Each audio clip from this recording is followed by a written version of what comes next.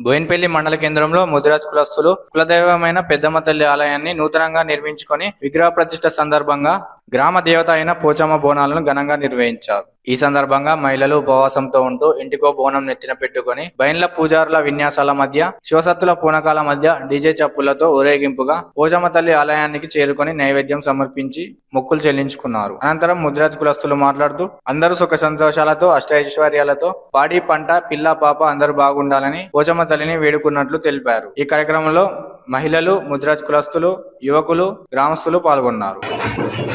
Thank you.